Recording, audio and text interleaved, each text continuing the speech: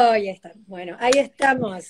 Hola. enorme, enorme gusto verte. Maren y yo, para quienes no nos conocen, somos amigas de hace muchos años, así que es para mí un doble placer. Igual, igual, un placer estar aquí. Gracias, gracias por acompañarnos. Este, Maren, les contaba a las chicas que hoy es una ocasión especial porque estamos a un día solamente de la celebración de uno de los días que creo que para mí y seguramente para muchas de ustedes también es un día sumamente especial. Es el Día Internacional de la Emprendedora. Y es un día donde tenemos la oportunidad de celebrar junto a mujeres líderes como vos eh, el trabajo, los desafíos, las oportunidades y todas las cosas, los sueños que perseguimos las mujeres que estamos en este camino de abrazar la tecnología para dejar un mundo mejor. Seamos emprendedoras dentro de nuestras compañías, intraemprendedoras o emprendedoras de nuestro negocio. Y voy a darle una bienvenida oficial a mi querida amiga, a Maren Lau, hawaiana de nacimiento, argentina por adopción y ahora brasileña también por adopción, ¿correcto? Y ahora sí, bueno, y Argentina por casamiento, ¿no? Y, por ahora, casamiento. y ahora, ahora, Brasil por, no sé, por sí, por adopción. Bueno, y Maren, para quienes no la conocen, es una de las mujeres más talentosas y también más reconocidas e influyentes en el mundo de medios digitales de América Latina. Ella ha llevado puestos de liderazgo en muchas compañías, anteriormente en IMS, también en Hill Knowlton, una de las compañías líderes en el área de comunicaciones y relaciones públicas, y ahora como vicepresidente de Meta. Cuéntanos un poquitito más luego de eso. Meta, ¿qué es Meta? Facebook. La gente va a saber qué es Claro, Meta es el ex Facebook, ¿no? Cambiamos el nombre corporativo hace tres semanas, hace muy poco. Así que a veces a mí incluso me cuesta decir Meta, pero Meta es lo que era Facebook. Y, a ver, todos nos estamos preguntando, ¿de dónde viene Meta? Sí, ah, muy buena pregunta. Mira, la palabra meta es curioso porque, claro, trabajo en América Latina, entonces ya en el español y en el portugués meta tiene otro significado, ¿no? La palabra meta como objetivo, pero realmente meta del metaverso eh, y la palabra meta para la empresa viene del griego, que es ir más allá de. Entonces, el concepto de meta es ir más allá de en, en, varias, eh, en varios sentidos. Uno, en el sentido de el metaverso y todo lo que vamos a explorar y construir hacia el futuro. Y para mostrar que la verdad que Facebook no es únicamente una, una empresa de aplicativos, de social media apps, somos mucho más. Y por eso también este cambio de nombre tiene sentido en cuanto a la visión que tenemos hacia el futuro para esta empresa. por eso, y me encanta que haya querido decir eso porque también podemos volcarlo ahora a las mujeres emprendedoras, a Maren en particular. ¿Y qué significó para la Maren chiquitita, la Maren niñita que jugaba entre Maui también y Honolulu cuando era muy, pequeñita, el haber llegado a liderar eh, las operaciones de una empresa tan importante? ¿Qué fue para vos el ver más allá, el pensar en esta meta? Bueno, buena pregunta. Y antes de empezar, quiero decir que estoy, la de estar aquí contigo en las vísperas, digamos, de Women Entrepreneurship Day es un gran placer porque Silvina eh, habló que somos amigas desde hace muchos años, pero la verdad que nos conocimos como emprendedoras, las dos. después hablaremos un poco de eso, pero éramos en una, estábamos en una época de emprendedurismo ambas y, este apoyo de una mujer a, la otra es algo que después tenemos que hablar porque es algo que siempre me ha sido súper importante y que valoro mucho te aprecio mucho, Silvina. Em, para ir más allá, a ver, mi vida. Mira, yo, claro, me crecí en una isla de Maui que tiene, que en ese momento tenía como 80 mil personas. No tenía muchas personas, era un pueblo, ¿no? Una isla pueblo. Em, pero lo que es interesante es que yo soñé, en una isla soñé, soñé de vivir en New York, este, un día en la ciudad grande de Nueva York, soñé en grandes cosas y mi familia, la verdad, nunca habían por ahí experimentado eso, pero nunca me dijeron que no. Era no conocido, pero no era un no, ¿no? Era, bueno, hay que explorar, hay que empezar. Y, y, eso fueron los primeros pasos de literalmente ir más allá, porque tuve que, tuve que irme, salir de una isla para ir a lo que llamamos en inglés el mainland, ¿no? US, en los Estados Unidos, y empezar a explorar.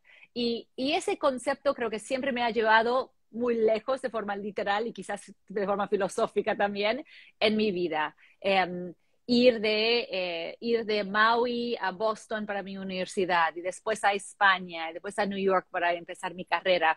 Y esas son las fronteras que una mujer y que lo que yo aprendí mucho en mi vida, hay que ir más allá de las fronteras, ¿no? Las fronteras físicas, las fronteras que a veces establecemos en nuestras mentes como, como límites o barreras. Y ese empuje creo que es muy importante. Em, es importante como mujer, es importante como emprendedora. Y a mí me ha servido mucho en mi vida cuando me siento mucho en mi zona de confort intentar irme más allá nuevamente. Hablaste de dos temas muy importantes que me gustaría también hacer un zoom in y que son parte de este movimiento que comenzamos que se llama Scare the Rules, que es básicamente el ponerle la falda a las reglas, pero que como sabes en inglés quiere decir doblarlas sin quebrarlas, ¿no? Ah, Zigzaguearle un poquitito, utilizar la creatividad. Y hablaste del construir una tribu, del poder tener otras mujeres en las cuales podamos mirarnos, reflejarnos, inspirarnos y a las cuales también tengamos que inspirar. Y en tu camino has inspirado a muchísimas mujeres, pero me encantaría que nos contaras qué fue lo que te inspiró para que esta Marin chiquitita pudiera dar ese gran salto de la isla a New York, a Harvard, a Boston y después al mundo entero, porque viviste, también en muchísimos lugares. Sí, mira, tengo una inspiración muy fuerte en mi vida que fue mi, bisabuela, ¿no? Mi bisabuela del, lado chino, yo soy mitad china, mitad puertorriqueña de, de Hawái, y ella nació una época en la cual las mujeres no, las niñas no podían ir al colegio, a la escuela, a aprender. ¿Sí? Imagínate eso. Pero los varones, los hombres sí. Y ella tenía hermanos. Entonces los hermanos iban eh, al colegio y ella se quedaba en casa. Y un día pregunta a su mamá, ¿pero por qué yo no? Y ella se disfraza, se viste de hombre y empieza a ir al colegio para ganar una, una educación gracias a Dios, al Espíritu, lo que lo quieras llamar, que ya hemos evolucionado bastante entonces y las mujeres tienen, por lo, en la mayoría del mundo, tiene acceso a una educación, ¿sí? Como es un derecho universal, como debería ser. Pero ella me mostró que las cosas que uno tiene que hacer, ¿no? Ese compromiso, esa pasión.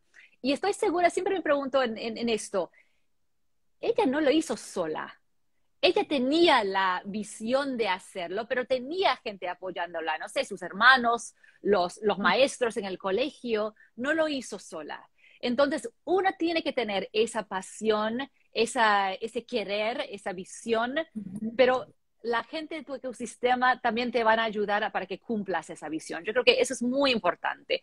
Y entonces una mujer necesita a otras mujeres y necesita a allies, aliados, hombres también porque requiere de todos y es una responsabilidad de todos, no, eh, no, no es una sola una sola de mujer a mujer. Es también una responsabilidad de los hombres apoyar a las mujeres, porque todos beneficiamos cuando la mujer em, sale adelante. A mí siempre me gusta decir que somos la mitad del universo y que solamente queremos la mitad de las oportunidades, que esto nunca fue en contra de los hombres, porque muchas veces piensan que porque estamos apalancando a las mujeres, queremos quitarles oportunidades a los hombres y lo que se busca siempre es crear una mesa más grande donde todos podamos tener el mismo, el mismo espacio. Y también los hombres juegan un rol súper importante porque todos los hombres tienen esposa, algunos, bueno, por lo menos, todos tienen una madre, indefectiblemente. De una madre salieron, eh, muchísimos de ellos tienen hijas y seguro que todos comparten que igual talento igual oportunidades es, es, el camino, es el camino justo. Así que me gusta eso también porque a mí como emprendedora en mi vida me han apoyado muchísimos hombres, eh, me han apoyado también muchas mujeres, más hombres que mujeres. Me encantaría que trabajáramos para crear una cultura donde tengamos muchas mujeres en las que se normalice el ver a mujeres exitosas, sin pena de eh, tener que mostrarse plenas, exitosas, felices, con muchos con muchos logros y que todos, hombres y mujeres, podamos trabajar mancomunadamente. Pero mencionaste también el otro, el diablito, el que nos habla por la orejita y que nos dice tantas veces, mm, no sé si tengo lo que hay que tener, el síndrome del impostor.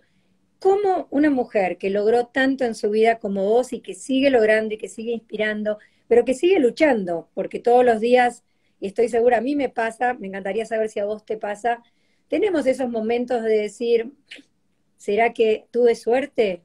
¿cómo lo, cómo lo contrarrestas? Y si te pasa también a vos, ¿qué le recomendarías a las otras mujeres que están del otro lado, a tantas emprendedoras que tienen miedo, que puedan, qué pueden hacer para cambiarlo?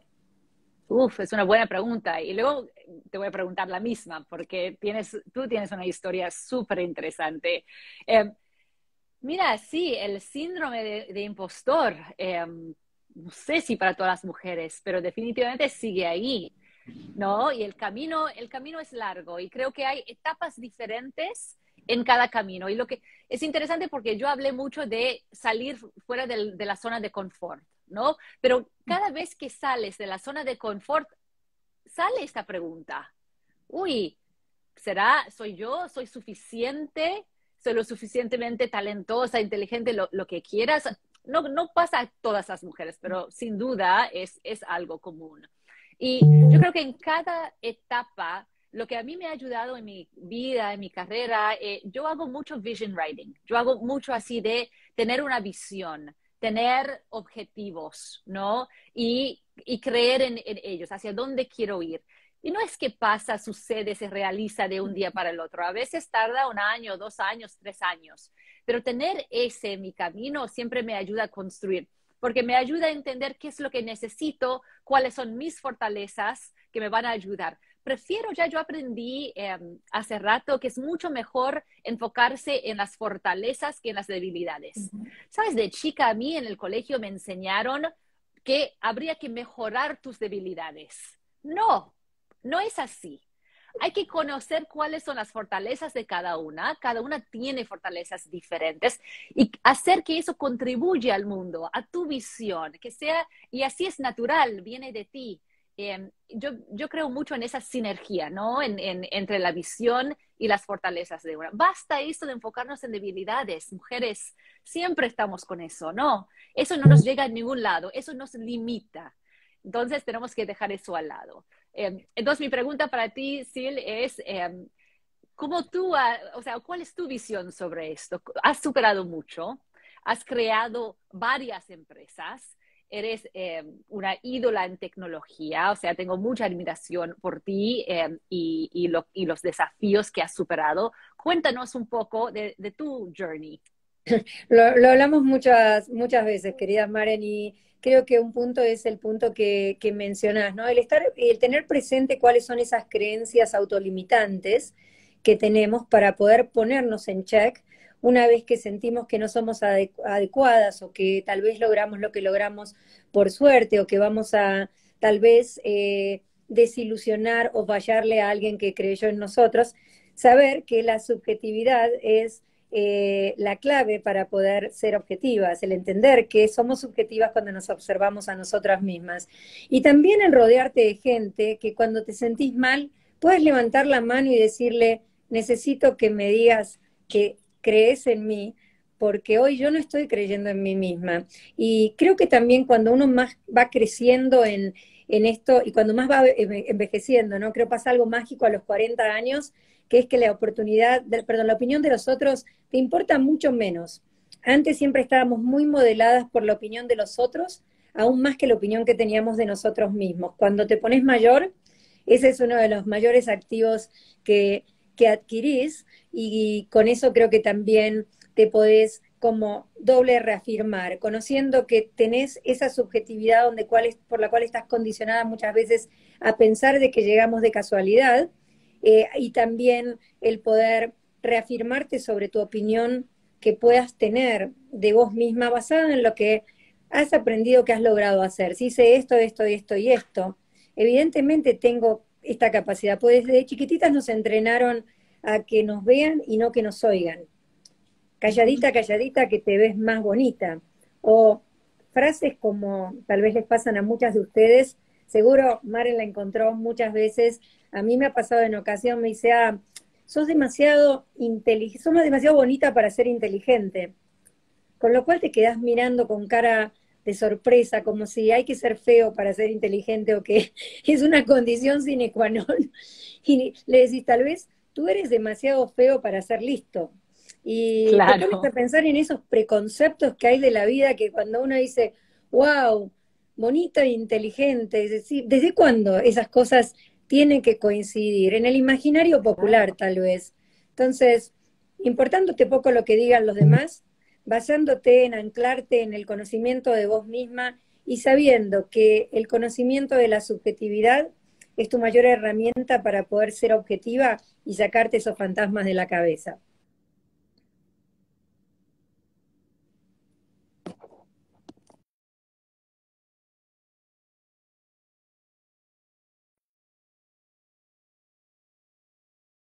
Nos desconectamos un segundito? ¿Es posible? Díganme si nos están escuchando bien.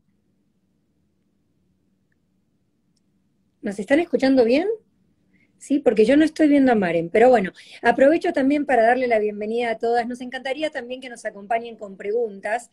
Tenemos la oportunidad única de tener a una mujer maravillosa eh, que ha logrado cosas increíbles dentro de su carrera personal y profesional dándonos la oportunidad de eh, preguntarle, de hacerle preguntas personales desde el corazón para que nos diga cuáles son sus secretos, cuáles son las claves que eh, tenemos todas para poder generar un mundo, un ecosistema de mucho mayor apoyo y de mucho mayor eh, también oportunidad para para todas. Veo que me ven solo a mí, voy a ver cómo podemos recuperar a Maren, a ver si la podemos sumar. Ya saben que a veces la tecnología nos juega algunos, me acomodar un poquitito también.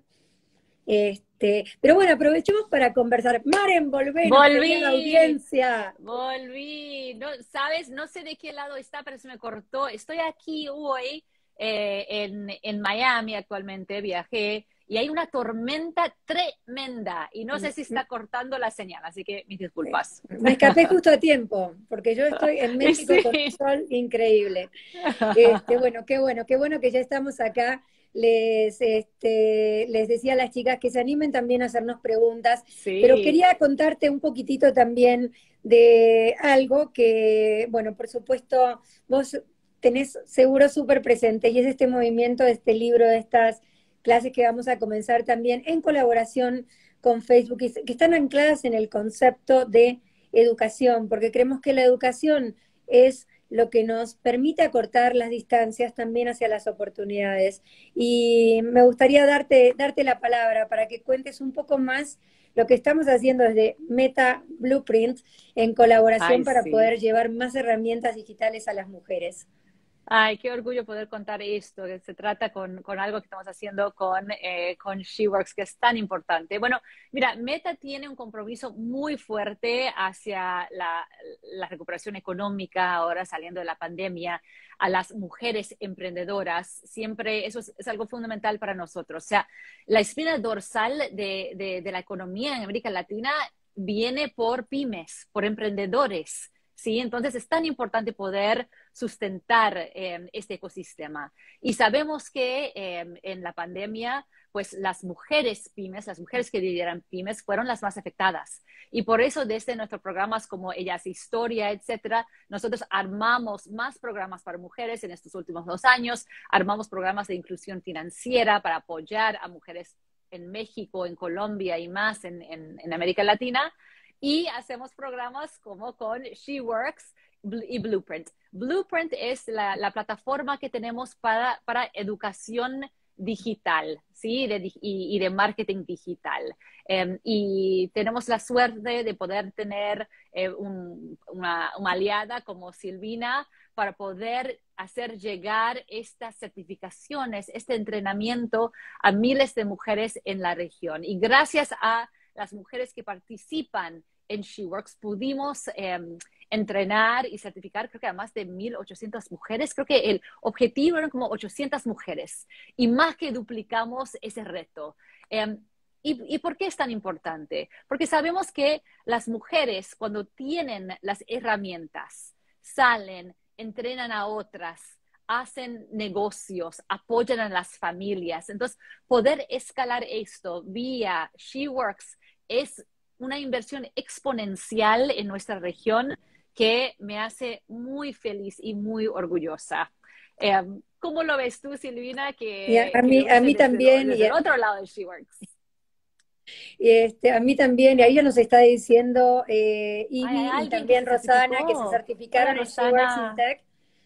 Este, y SheWorks in Tech es el programa que co-creamos con, con, Facebook para certificar a mujeres y entrenarlas en tecnologías de, Facebook. Nuestro objetivo con esto es poder crear toda una comunidad que les permita no solamente acceder a las habilidades, sino también a las oportunidades de que ustedes se conviertan en emprendedoras exportando sus servicios también a través de la plataforma y en colaboración con, con Facebook para que puedan capitalizar en toda esta nueva tecnología que está trayendo Facebook al mercado y este también ganar dinero. Y bueno, Beca dice, ahora mis 50, dice que hay más, wow, hay un Shadow, Be Becara Melino, wow. Este, en proceso de certificar, que bueno, qué, qué ilusión big thumbs up con esto para Carla Casanelo.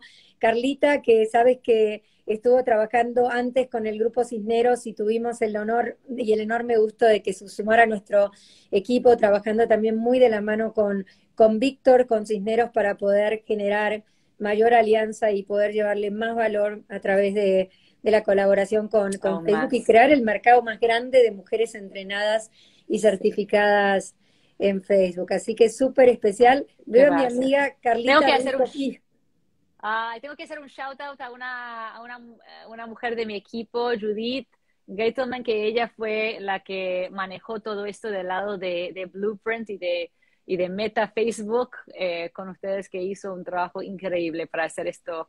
Judith, te queremos, te agradecemos infinitamente porque al final todo esto es es como una partida de dominó, viene una piecita que va pegando en otra y terminamos todas impactadas, en este caso positivamente, y el trabajo que ha hecho el equipo de Meta Facebook también ha sido absolutamente clave para que podamos llevar este conocimiento y estas oportunidades sin fronteras y sin límites. Y Maren, me gustaría ya, porque tenemos que ir cerrando, hablemos de oportunidades y hablemos de crisis y de las oportunidades que llegan en la crisis y cómo lo estás viendo también como mujer emprendedora para contarle a otras mujeres emprendedoras para el tipo de negocios. Y Laura Chaboni, te quiero también, brillantísima mujer, gender champion, que está haciendo un fantástico trabajo ahora también desde Meta Facebook este, por, por las mujeres. Pero, ¿cómo la pandemia las ayuda a aquellas mujeres que están del otro día a convertirse en emprendedoras con mayor impacto y con mayor alcance? Sí, mira, primero mi mayor admiración para todas las emprendedoras en esta llamada, quien está viendo esto, realmente ser emprendedora no es fácil, requiere coraje, requiere pasión. Em, sé lo que es, eh, eh, he sido emprendedora con mis propias empresas y ahora creo que mantengo ese espíritu emprendedora dentro de, dentro de, Meta, ¿no? Ese espíritu intraemprendedor. Eh, la pandemia nos desafió a todas de, varias formas, ¿no? A, algunas porque tuvieron que cerrar sus puertas, ¿no? Sabemos que las mujeres emprendedoras en América Latina trabajan mucho en servicios que no podían tener contacto con, otras personas por muchos meses, por ejemplo. Em, entonces, fue un desafío muy grande. Hablé un poco antes de salir de la zona de confort y es cuando uno tiene todas esas dudas, pero donde realmente una crece. Y, yo realmente creo que las mujeres somos ágiles, somos fuertes, buscamos soluciones. Puede ser que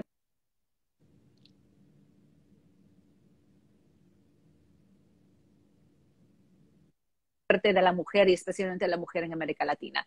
Mira, para mí fue un ejercicio en, em, crecer como líder, ¿sí? Porque, em, claro, lidero una empresa muy grande eh, en la región y, y, tenía metas de objetivos de revenue, de hay que vender, de hay que eh, no encargarse.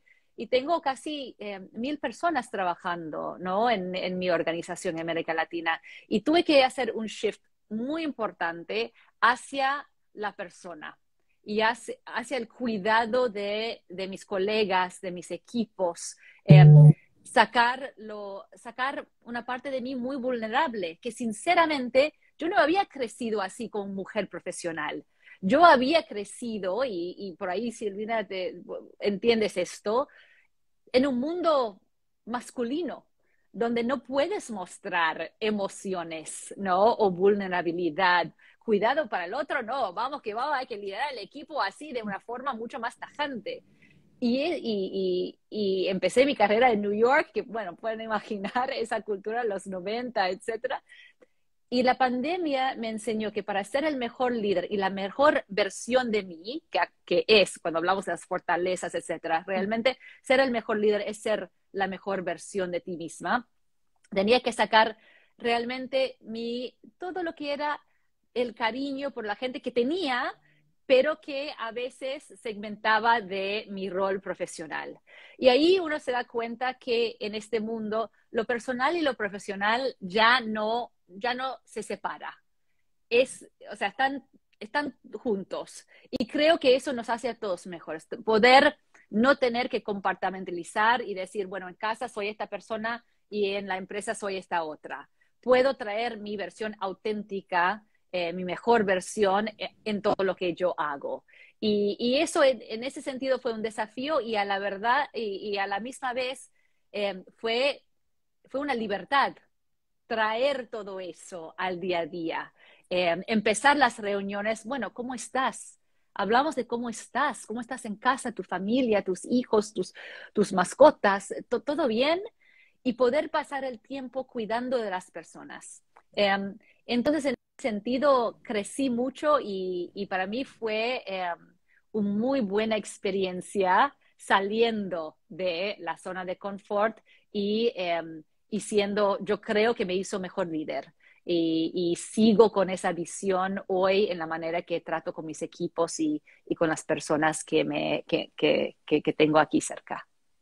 Es, es, tan bonito y tan profundo lo que compartes. Y si te pones a pensar lo que ha hecho que hayan sido las mujeres, jefes de Estado, las que manejaron también con mayor éxito la pandemia, habla mucho de eso, ¿no? Habla mucho de el por qué hoy estamos viendo que el liderazgo femenino está de moda, porque es un liderazgo empático, es un liderazgo vulnerable, es un liderazgo personal, es un liderazgo que se pone en el centro de la persona, de la persona que tenemos adentro. Y eso creo que es una enorme, enorme diferencia y para mí es un enorme privilegio, Maren, darte la bienvenida a nuestra primer eh, eh, live de celebración del Día Mundial de la Emprendedora no solamente como profesional, como profesional podría hablar horas de todos tus logros, pero lo que es más importante, y se me pone la piel chinita cuando lo digo, es por todo lo que estás sumando a todas nosotras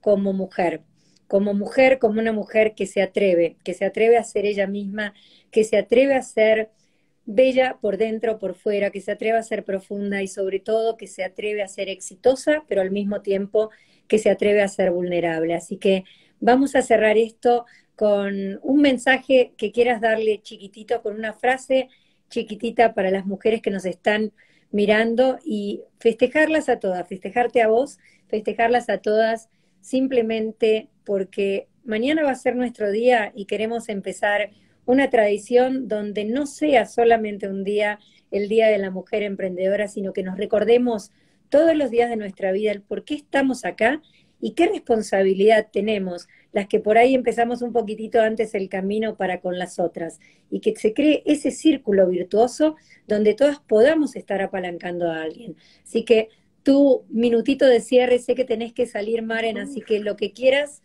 el, piso es tuyo. Uf, a ver, no lo había pensado. Em, creo que em, hablamos de muchos temas hoy. Hablamos de la equidad y la inclusión fundamental, el progreso de las mujeres y ese camino que no hay vuelta para atrás. Eh, hablamos de apoyarnos una a otra, pero también una y otro con aliados. Em, hablamos mucho de las fortalezas, de salir de las fortalezas y no de las debilidades. ¿sí?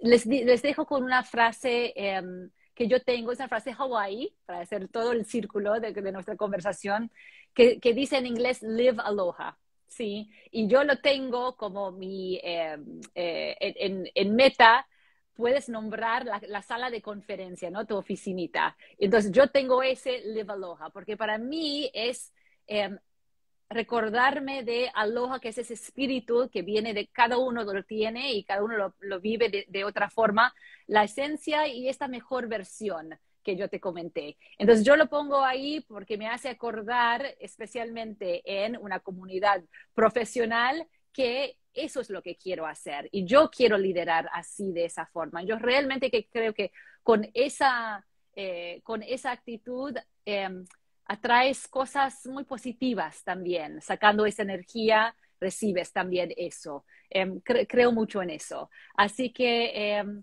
nada, todas las mujeres aquí, gracias por sus fortalezas y por estar construyendo sus caminos. Eh, me encantaría luego escuchar de sus historias em, y les dejo con eso. Live Aloha y, y entre nosotras, feliz día de la emprendedora. Entonces, Liva Aloha para todas, Liva Aloha especialmente para ti, Maren, y muy feliz día de la emprendedora para todas. Con esto nos despedimos y hasta siempre.